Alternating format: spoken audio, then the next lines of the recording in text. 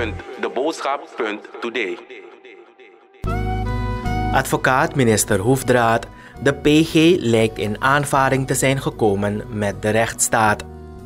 Naar aanleiding van het bericht omtrent de vordering van de procureur-generaal aan de voorzitter van de Nationale Assemblée tot het in staat van beschuldiging stellen van minister Gilmore Hoefdraad, stelde advocaat van de minister, de heer meester Frank Truideman, dat nu pas seitens het Openbaar Ministerie de juiste procedure in acht is genomen.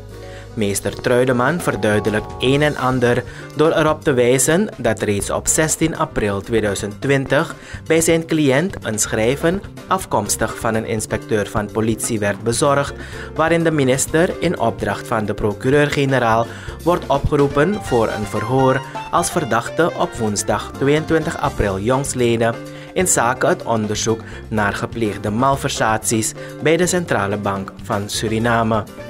Het volledige bericht kunt u lezen op www.deboodschap.today.